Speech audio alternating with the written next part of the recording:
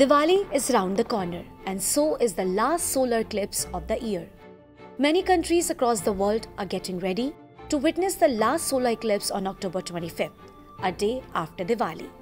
The partial solar eclipse will be visible from many parts of the country, and because of this, Govardhan Puja will not be celebrated a day after Diwali. Govardhan Puja has been rescheduled for October 26. The solar eclipse will start at 4:29 pm and end at 5:43 pm.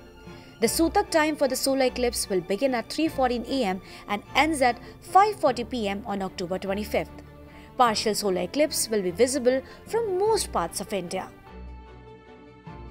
In Delhi, it will be visible at 4:29 pm, in Mumbai 4:49 pm, whereas in Chennai 5:14 pm, Chandigarh 4:23 pm, in Jaipur 4:31 pm, whereas in Kolkata 4:52 pm and in Lucknow 4:36 pm.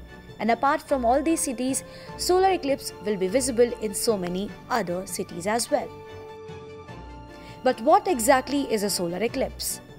A solar eclipse occurs on a new moon day when the moon comes in between the earth and the sun and when all three objects are aligned. A partial solar eclipse will occur when the lunar disk covers the solar disk partially.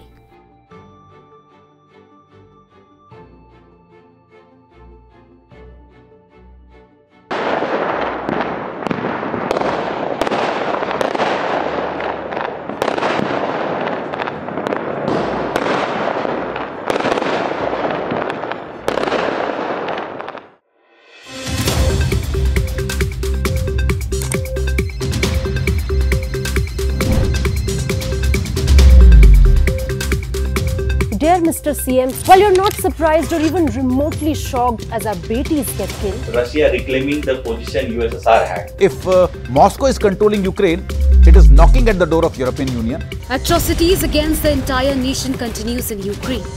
Who is the better batsman between India's Virat Kohli and Pakistan's Babar Azam? Is there a Hollywood film next? I hope because of the hashtag boycott Bollywood forever trend. In a major boost, India inducts LCH helicopters to counter China and Pakistan threats. 5G services